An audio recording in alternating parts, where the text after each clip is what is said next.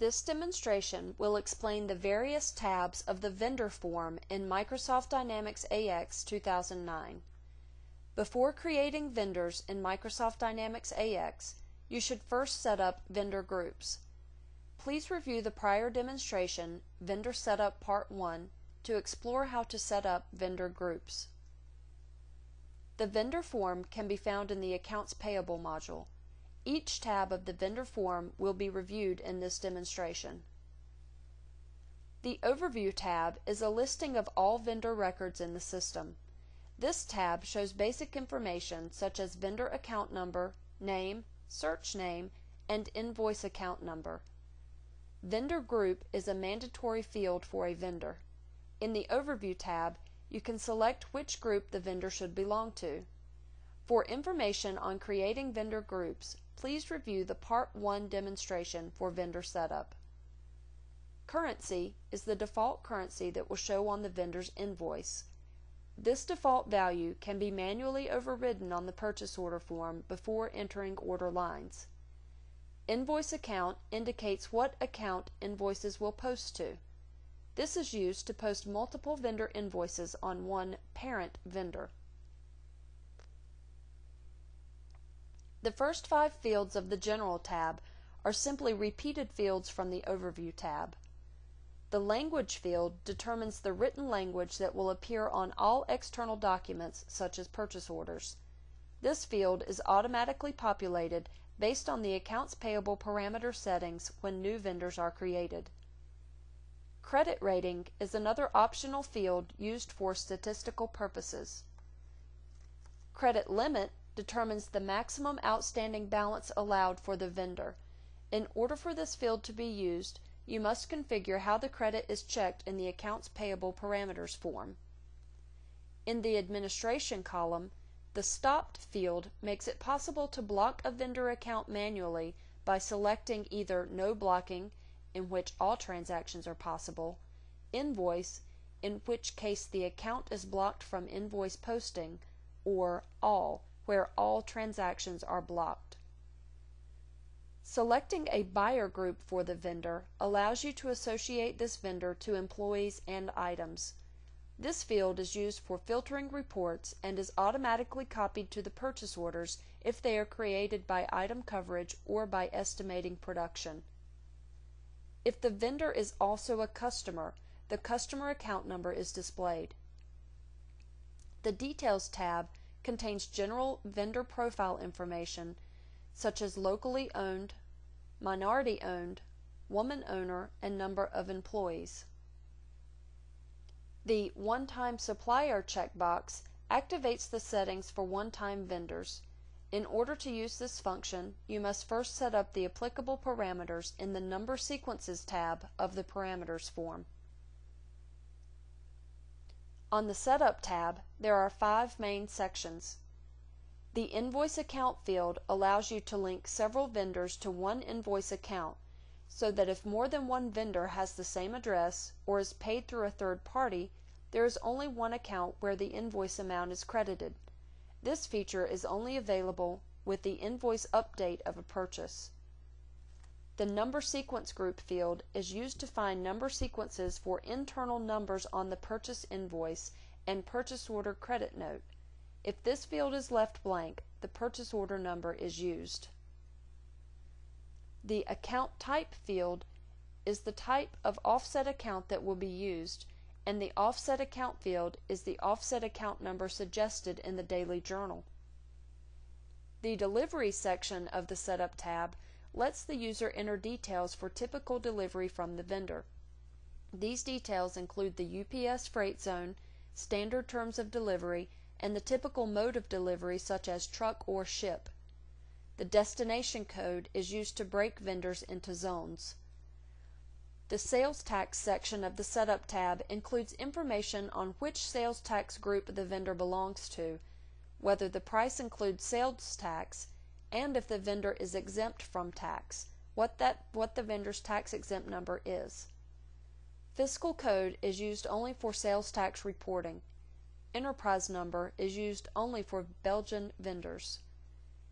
If withholding tax should be calculated for the vendor's payment transactions in journals, you should check the Calculate Withholding Tax checkbox. If it is checked, enter a group for the vendor. The Purchase Order tab contains three main sections, Purchase Order, Discount, and Supplementary Item. The Warehouse and Site field define default warehouse locations for items being received from the vendor. Miscellaneous Charges group allows you to associate the vendor to a set of markups such as postage, handling, and freight that will be automatically calculated per invoice for the vendor. Please see the demonstration on miscellaneous charges for more information on setting up vendor miscellaneous charge groups. Some vendors request that their own item descriptions appear on orders. By linking the vendor to an item vendor group, the items will automatically be shown with the vendor's external item description. The Purchase Pool field allows you to group purchase orders together. This field also allows for filtering and sorting of orders.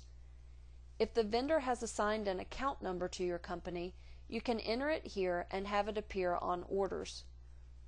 If you want the prices and amounts of items to appear on the purchase order, you should check the Purchase Order Prices Amount checkbox. This is typically checked for most vendors. The purchase calendar is used to calculate order date and delivery date. This is the vendor's working days calendar. Amount currency displays the total amount of invoice updated transactions in the vendor's native currency. The fields in the discount column are used to link the vendor to discount groups for multi-line, total, price, and line discounts. By linking the vendor to the discount groups, discounts are automatically calculated on the purchase order. Please see the demonstrations on discounts for more information on setting up these groups. Supplementary Item Group manages the vendor's supplementary items when those items are calculated.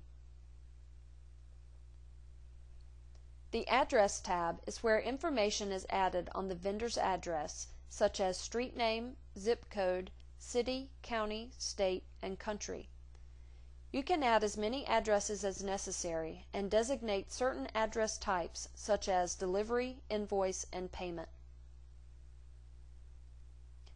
The Contact Information tab contains fields for entering the vendor's primary contact information.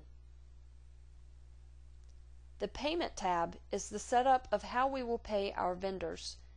You can specify the terms and mode of payment as well as enter further specification on the method of payment.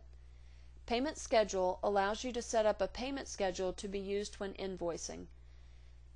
If your vendor allows you to take advantage of cash discounts, enter the Cash Discount group here. The group used will determine the method, number of days, percentage rate, etc. for the discount. If you are making payments directly to the vendor's bank, enter the bank account number in the bank account field. You may choose to enter a payment identification for the vendor when you make payments. The ID number is entered in Payment ID. In the Payment Day field, select the payment day used for calculation of the due date. Microsoft Dynamics AX will automatically be rounded up to the nearest specified date. The Central Bank Purpose Code is used if you are reporting vendor information to the central bank. These codes are set up in the Payment Purpose Codes table. The Purpose Text field is a free text field. If you need to create a 1099 form for a purchase for this vendor, Check the Report 1099 checkbox. In the Federal Tax ID field, enter the vendor's registration number for 1099 declarations. In the Tax ID Type box, enter the Federal Tax ID for the vendor. The 1099 box should contain the 1099 field number that will default into vendor transaction lines. Foreign Entity Indicator should be selected if the vendor is owned by an entity in a foreign country or a U.S. possession. Select the second TIN box if the IRS has notified the vendor twice within three calendar years that the vendor provided incorrect identifying information such as name, federal tax ID, or federal tax ID combination. Name to use on the 1099 is the type of name used for the vendor on 1099 reports.